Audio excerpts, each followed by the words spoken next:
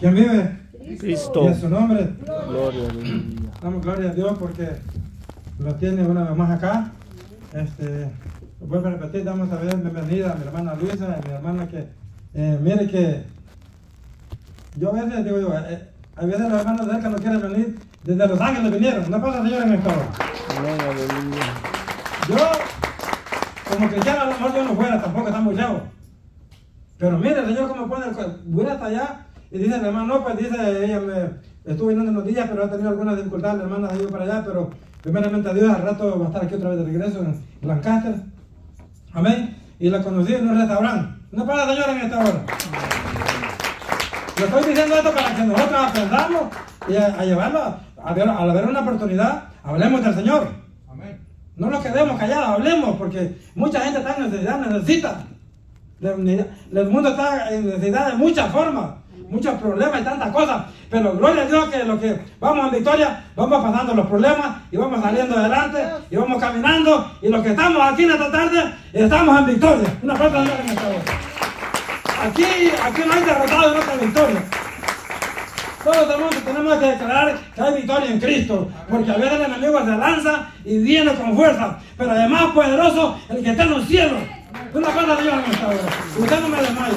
Usted siga para adelante, camine en Cristo. Levanta la bandera del Señor. No se me avergüenza decir que es cristiano. Diga, alabo al Señor porque Cristo me ha rescatado. Alabo al Señor porque Él me ha sacado de estos problemas. El Señor me quitó esto, me sanó de aquí y me sanó de allá. Yo siempre he dicho, yo no tengo poder, pero mi Cristo tiene poder a través de la oración. Entonces yo estoy contento en esta tarde, porque mis hermanos, mire, eh, no crea, este, mi hermana Luisa, yo vivo hasta allá, hasta, lejos. Y le digo, hermana, pero no la voy a llevar en el lomo, el carro la va a llevar. Pero qué bonito donde vive, por allá, no, no está lejos de acá para allá, por el cerro, pero una, está bonito porque está verde. Entonces, hermano, yo para la hora yo no, yo no tengo límite, yo sirvo al Señor con todo mi corazón. Amén, aleluya. También Dios bendiga a la hermana Maribel que está con nosotros esta tarde. Señor es bueno y para siempre su misericordia. Ya los demás que somos de casa, pues nosotros alabemos al Señor y eh, honremos a Él con su presencia, alabemos en todo el tiempo.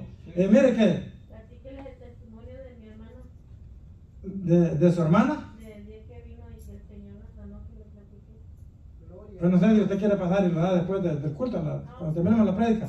Amén. El Señor es bueno. Hay veces que uno dice, pero ¿será que el Señor sana? Hermano, no, mire, no, no seamos incrédulos. Porque Dios le contara lo que Dios ha hecho en mi vida, no, hombre, uno se queda corto en palabras. De que Él venía sanando por tantos lugares y el Señor sigue sanando. Eh, lo que no le ayuda a nosotros es la fe, pero el Señor sigue sanando. ¿Cuántos lo creen? Él sigue haciendo la obra en cada corazón presente. Yo siempre he dicho, y si nos morimos para Cristo, morimos. Y si vivimos para Cristo, vivimos. Así es de que pónganse de pie, el tema no es ese, es otro tema. amén. Vamos a llevar. Pero el Señor quiere hablar a tiempo y Él sabe la necesidad que tenemos nosotros. Así es, hermano. Y este tema, ya estaba orando al Señor que hace mucho tiempo quería predicar sobre esto porque es muy importante. El pueblo tiene que estar sabido sobre a qué adoramos nosotros y en qué creemos. Mucha gente son cristianos y no saben todavía qué es Padre, Hijo y Espíritu Santo. Pero en esta tarde lo vamos a aclarar. ¿Cuántos lo creen? Sí. Denle una paz al Señor en esta hora.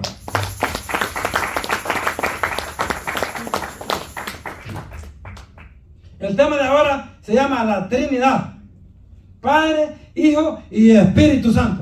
Porque creo que no, nunca he predicado acá, pero ya tenía días preparando. Señor, bueno, el Señor quiere que hablemos para que sepamos eh, qué significa esto y a qué nosotros adoramos y por qué. Amén.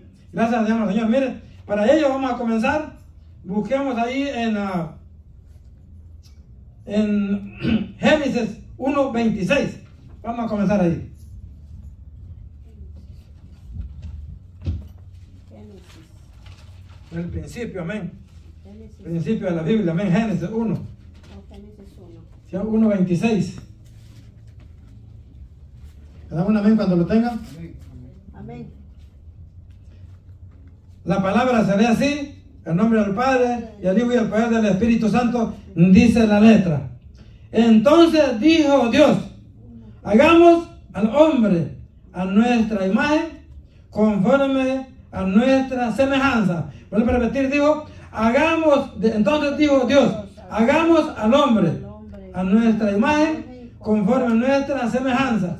Y dice, y se señoreará en los peces en el mar, en las aves de los cielos, en las bestias en toda la tierra y en todo animal que se arrastra sobre la tierra. Bendito sea el nombre de Jehová. Gracias, Señor, en esta hora. Gracias por tu palabra, Señor. Le damos gracias, Padre bendito. Esperando que usted sea, Padre, a través de mis labios, llevando este consejo a mis hermanos, Padre, para que seamos edificados y podamos entender verdaderamente que es Padre, Hijo y Espíritu Santo. Gracias le damos, Señor, en esta tarde, porque usted pone el querer y el hacer. Y Dios le bendiga a todos mis hermanos que están presentes, Padre. Ayúdale, Padre, que esta palabra llegue a sus corazones y lo, y lo mantenga en sus mentes, Señor. Gracias, Señor amado. Damos gloria y alabanza a usted en esta tarde. Amén. Y amén. Se pueden sentar. Mire, dice aquí, está hablando en plural. Hagamos, dijo. Eso me encanta, hermano, porque la Biblia es clara. Si la gente se confunde, es porque quiere confundir el pedido. Hagamos. Significa que dice hagamos. No estoy solo yo, hermano, toquemos. Yo no soy solo yo, que está el hermano, está el otro, y el baterista que lo aguanta, pero ya pronto va a estar ahí. Hagamos, significa varios. No dijo hago, ¿verdad que no dijo hago? No es singular, sino que es plural. Entonces dijo Jesucristo, hagamos, dijo. Ah, no era el solo, había alguien más. ¿Y quién era alguien más? Padre, Hijo y Espíritu Santo. Una palabra, Señor, en esta hora. Hagamos, dijo. Estamos hablando de esto porque muchas denominaciones tienen diferentes doctrinas, pero nosotros creemos en Padre, Hijo y Espíritu Santo. Amén. ¿Por qué? Porque hay, hay- hay otras denominaciones que solo creen en Jesús. Sí, amén. Pero vamos a ir hablando el mensaje poco a poco para que entendamos a qué, a qué es lo que estamos haciendo. Dice, hagamos, entonces no estaba solo, era él y otros más. ¿Quién era? Padre, Hijo y Espíritu Santo, éramos los tres. Entonces, muchos dicen, no, solo Jesús, no. Otros creen en otras cosas, pero nosotros tenemos que basarlo en la sana doctrina que es Padre, Hijo y Espíritu Santo. Le llaman la Trinidad. Es importante esto porque mire, la Trinidad, y mire que Dios, hagamos, ¿cómo dijo? Hagamos al hombre. ¿Y el hombre cómo lo hizo? ¿Cómo? Ustedes lean también, hay que decir a cómo lo hicieron. Hagamos al hombre, dice, a nuestra qué? Imagen. ¿A la imagen de quién? De Dios. Hagamos el hombre, dijo, ¿a imagen de quién? A la imagen de Dios. Y mire qué bonito esto porque está Padre, Hijo y Espíritu Santo. ¿Y nosotros cómo estamos representados? Cuerpo, alma y espíritu. Cuerpo, alma. Mire, hagamos, digo, ¿qué? Tres. También, mire, nosotros también representamos a esas tres divinas personas. Claro, son tres, pero eh, tres en una. Pero cada persona tiene su función. Eso vamos a entender nosotros. Entendamos eso para cuando alguien le pregunte, usted tiene cómo defenderse. Son tres de una, pero cada quien tiene su función. ¿Y cuál es la función del Padre? Está en el trono desde arriba, ¿qué está haciendo? Ejecutando las órdenes aquí en la tierra. Mire qué precioso. Es como un coronel o como un presidente que le llaman el chip de todo. o Desde allá está mandando la señal. ¿Y le manda la señal a quién? ¿A quién mandó? Mandó a su hijo a la tierra. ¿A qué? A que muriera por usted y diera su vida por usted y por mí. Una planta señor en esta hora. Desde allá lo envió. Imagínense. Entonces no es solo. No es solamente una persona que el Padre envió a su Hijo unigénito, dice la palabra. Que lo convirtió en carne en la tierra. ¿Para qué? Para que fuera como usted y yo. Porque también él dolía. Él tenía hambre y todo. Entonces, esa parte de las tres personas. Pero viniendo bien, es tres en uno, pero dividido cada quien en su posición. Entonces, eh, eso es precioso, mire. Eso es como que te diga, son tres militares. Y todos eran iguales con el mismo uniforme. Pero uno es teniente, otro es sargento, otro es soldado. Te ven iguales, pero cada quien tiene su función. ¿Y quién manda más ahí?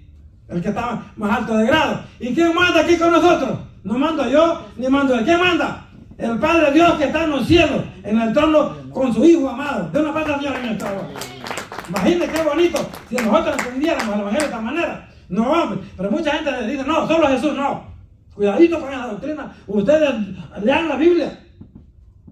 Porque así digo, solo Jesús, pero aquí no dice, no dice, Jesús, yo voy a hacer el- al hombre, o yo voy a hacer el mundo, o yo voy a hacer los animales. Nunca dijo eso. Por eso, miren, nosotros hay que leer la palabra para entender. Vamos caminando en Génesis 11, 7, un poquito más adelante.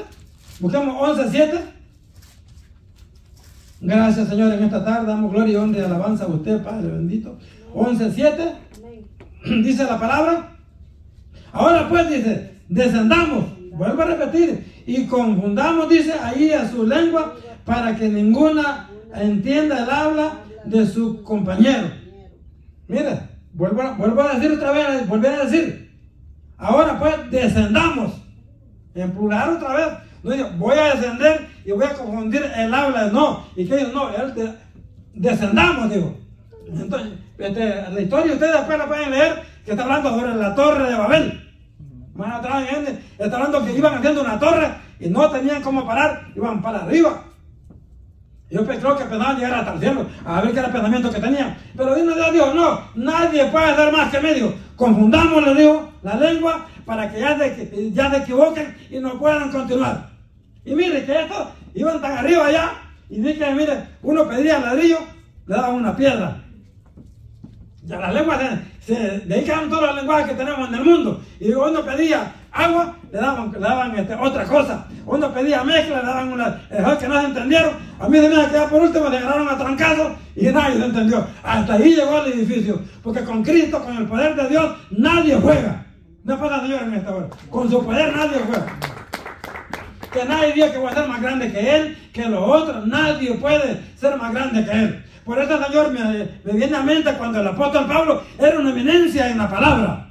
Era un hombre que tenía un conocimiento sobrenatural. Ningún apóstol, ninguno de los líderes de Jesucristo tuvo lo, que él tenía. Y quiso, Señor, dijo, este, si lo dejo un poquito arriba, quizás se me sube, dijo. Ahorita, dijo, lo vamos a calmar. Mire qué bonito. Y paz le mandó un aguijón para que se estuviera quieto. También nosotros, también a nosotros cuando lo queremos acá de muy salta, Dios te manda los problemas y te manda los aguijones y te manda todo lo que para qué, para que te humille. ¿Cuánto lo creen? Nadie puede hacer más que él. Entonces por fue a la torre de Babel, lo confundió, mire, y nadie pudo continuar. Hasta ahí llegó el edificio. Así que nosotros, pero nosotros estamos claros que es Padre, Hijo y Espíritu Santo. Denle una palabra, Señor, en esta hora. Padre, Hijo y Espíritu Santo. Y es tan bonito porque dice que el Señor es tan precioso. Miren lo que habla en Isaías 6.3. Vamos avanzando porque hay que leer bastantito. Isaías. Isaías 3. No, 6.3, perdón. Contrario. Isaías 6:3. 6.3 dice, y al uno y al otro daba voces diciendo, Santo, Santo Jehová de los ejércitos de toda la tierra está llena su gloria. Isaías 6.3, sí, así es. Dice, y uno al otro, del uno al otro daban voces diciendo, Santo, Santo, Santo, los ejércitos de toda la tierra está llena de su gloria. Y amén. Así que todos los, los querubines, los ángeles están dando gloria y gloria. Pero dan gloria, también siempre alaban a los tres, porque ahí está el Espíritu Santo con ellos, está el Padre y también está el Hijo. ¿Y cuál es el Espíritu Santo? Es el que los llena, el que los redarguye en esta tierra de todo pecado. Cuando usted siente ganas de ir al mundo y el, Espíritu Santo le habla a su mente, a su corazón, a su mente, no vayas ahí, porque ahí no de Dios. No vayas ahí porque es de él que te está redarguyendo, amén. Así que vamos, vamos continuando un poquito adelante, dice la Trinidad en el Antiguo Testamento. Solo que acabamos de ver esto es en el Antiguo Testamento. Pero hoy miremos en lo demás, mire, Jesús dio testimonio del Padre y del Hijo y del Espíritu Santo. Jesús, el mismo, dio testimonio del Padre y del Hijo. Mira, vamos a esto, vamos a ir a Juan 14, 14, 16. San Juan 14, 16, buscamos ahí adelante. San Juan. Aquí está, San Juan 14. 14, 16.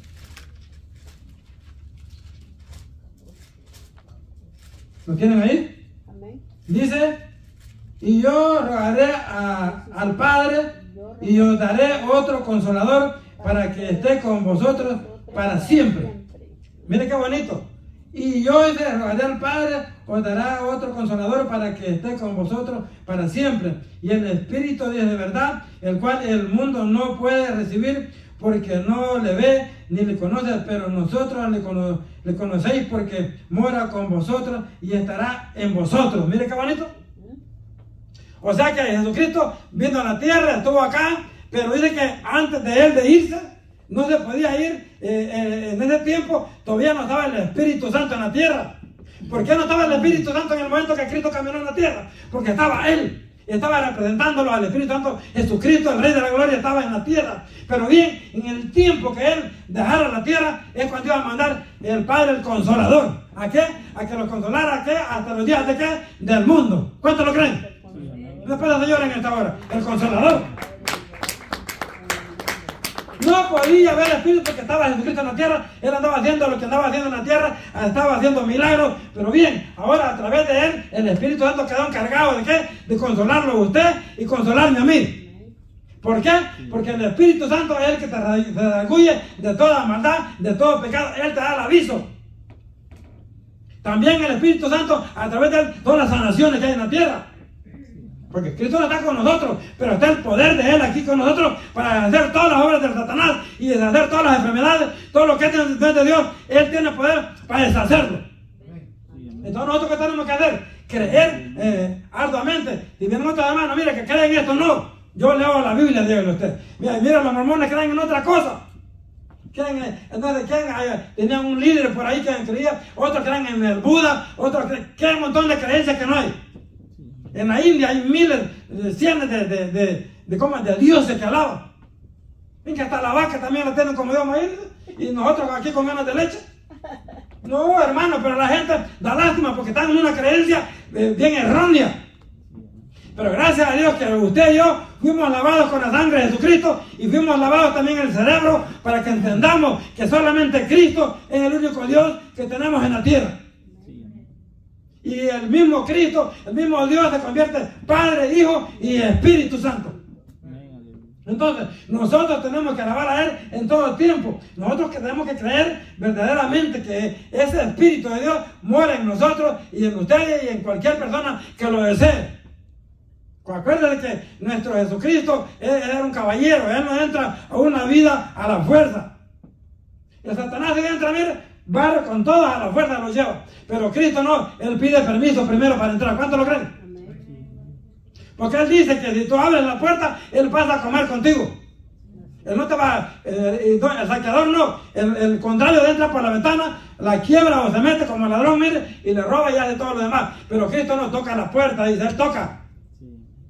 Y si tú le abres, Él pasa a sentar contigo. Entonces es lo bonito, mire. Pero nosotros seguimos creyendo que el Padre y Dios Espíritu Santo es una sola persona, pero dividida en tres. Fíjense lo que vamos a leer más un poquito más adelante. Leamos también en San Juan 15, 26. San Juan 15, 26. Ahí mismo. Pero cuando venga,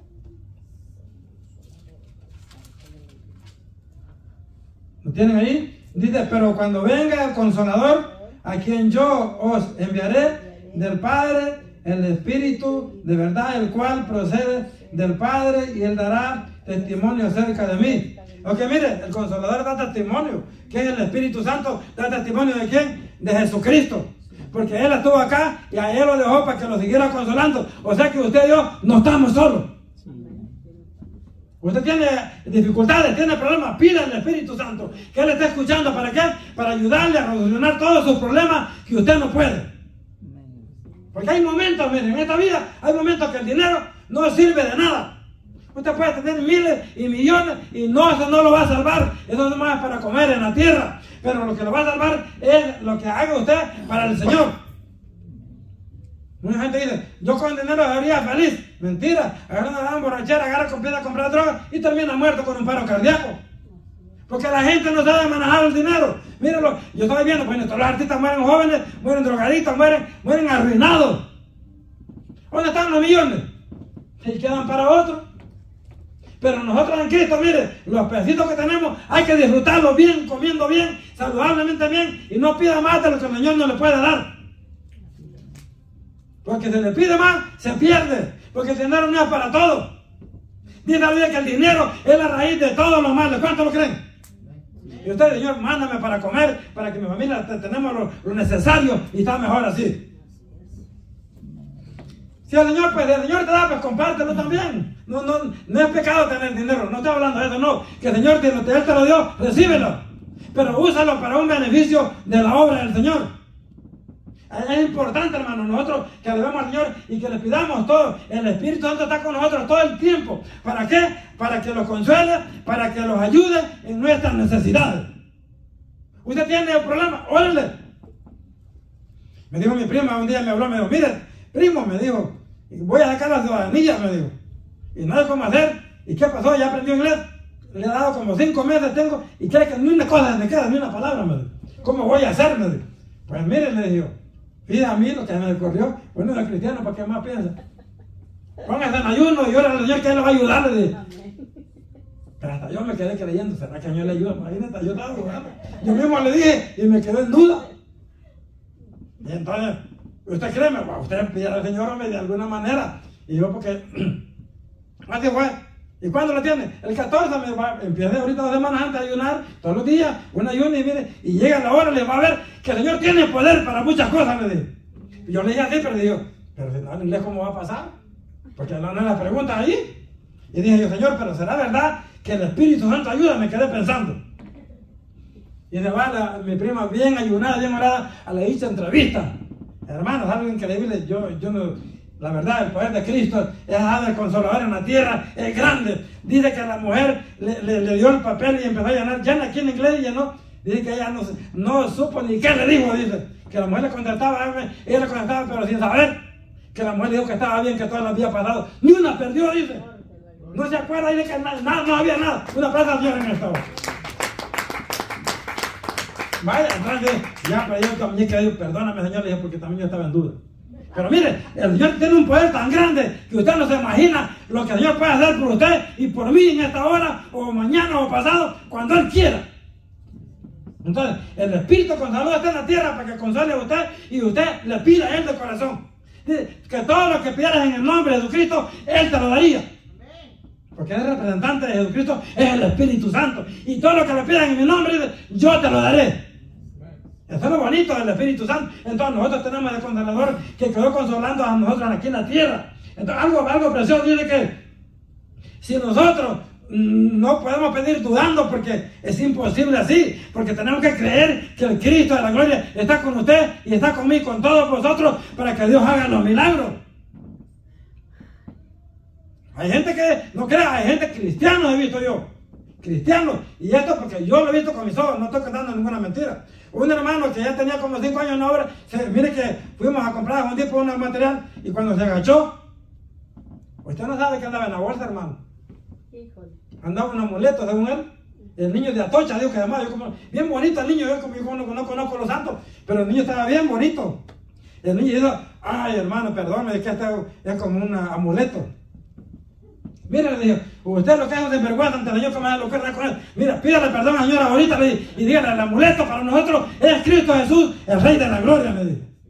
Pero la gente, hermano, mire cuánto, cuántas cosas ponen que amuleto ni que nada. Pero nosotros en Cristo sabemos que tenemos un poder tan grande en el Señor. Y mire, Él que hace todo lo imposible de nosotros, Él lo hace. El Espíritu Santo sigue alabando. Aquí está la tierra con nosotros. El día que Él se vaya, vamos a empezar a sufrir. Pero antes, ahorita que está Él, tenemos cómo a nosotros aliviarlo con las enfermedades, con los problemas, con lo que sea. Porque a Él nada le cuesta hacer las cosas para nosotros. Pero a veces Él permite también que pasen cosas para que nosotros enderecemos nuestros caminos. Él permite a veces que nosotros, que nos llegue la prueba para que aprendamos a vivir y empecemos a caminar derecho, recto en la palabra del Señor. ¿Cuántos lo creen? A veces nosotros no crean que, no crea que somos humanos, tenemos muchas dificultades, tambaleamos y lo mesamos. Pero en esta tarde Dios está hablando que el Espíritu Santo quedó para restaurar tu vida. Para eso quedó el Espíritu Santo, para restaurar en el momento adecuado. Yo siempre he dicho, el Señor, todos, pecamos, pero nosotros le pecamos, dice que tenemos un abogado que le pidamos perdón. Y cuando nosotros eh, pedimos perdón al Espíritu Santo, Él viene, mire, te restaura y se siente bonito en el cuerpo cuando empieza a ser restaurado. Se le acaban los problemas, se le acaban decisiones y aunque vengan problemas ya ni lo siente. Eso es lo bonito. Él no pasa Señor en esta hora. Y aunque vengan problemas ya no lo siente, porque el cuero es el hijo de tortuga.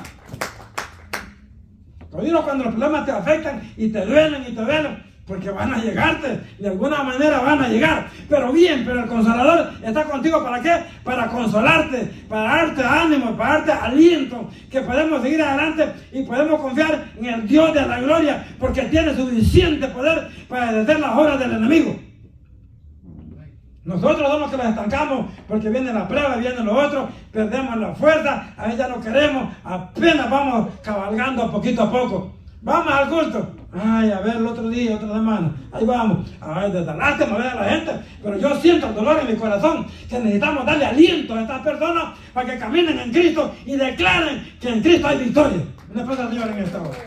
Declarémoslo ante Él. Yo no estoy derrotado, digo usted, el Cristo, el Espíritu Santo me da, el Consolador está controlándome. Todos los días dice que va a consolarte hasta el fin del mundo. A que nosotros tenemos esa gran fuerza. Tenemos la fuerza para seguir adelante, para continuar alabando al Señor. Miren lo que habla en Mateo, ah, Mateo 28, 28, 19. 28, 19. Sí, Mateo 28, 19. amén. En la última página ya de la... Sí, por tanto, Ajá.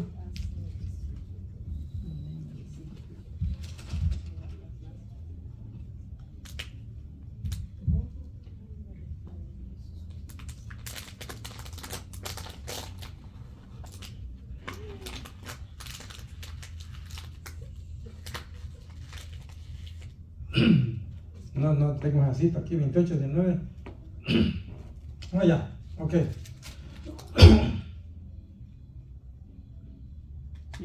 Por tanto, ya sé discípulos a todas las naciones, bautizándolas en el nombre del Padre, del Hijo y el poder del Espíritu Santo.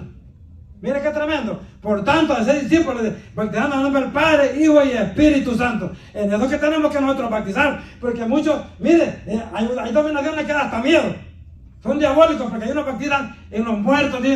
Imagínese usted cómo está bautizado a través de un muerto. que Ya se murió un padre. En el nombre de, tu tía que se murió, ahí lo bautizan. Eso no es de Dios, hermano. Es diabólico.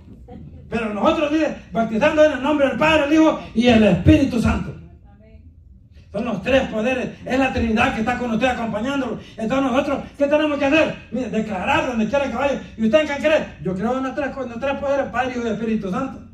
Hay una señora allá este, en, mi pueblo que es rezadora y le preguntan, ¿y usted en qué cree? Los tres poderes de Dios. La señora, ahí le ponen mal apodo a ella. Cuando- ahí vienen los tres poderes de Dios.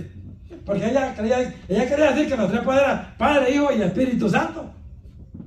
Pero bien, nosotros como, como cristianos tenemos que estar seguros que el Padre, que el Padre está en los cielos y que le mandó al Hijo a la tierra y que luego murió y regresó otra vez a su diestra. Y el Espíritu Santo fue el que quedó con nosotros. Mire qué bonito. Quedó consolándote a usted y a mí. Así que nosotros siempre digo yo, no estamos solos.